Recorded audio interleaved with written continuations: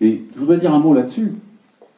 Un des enjeux, c'est aussi qu'on n'ait pas une fonction publique qui soit dans l'attente de citoyennes et de citoyens qui viennent taper du poing sur la table pour faire valoir leurs droits. Et qu'elle soit aussi capable d'être, elle, dans l'attitude inverse, de se battre pour faire valoir les droits et l'égalité des droits entre les citoyennes et les citoyens. Et c'est là aussi où euh, l'affaiblissement de la fonction publique a porté, quelque part. Le renoncement aux droits dans notre pays est considérable.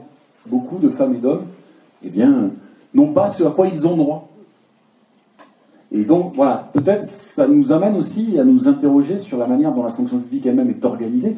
Gabi parlait de gratuité euh, à l'instant, c'est un des outils qui peut permettre, euh, évidemment, d'aller dans cette, dans cette direction.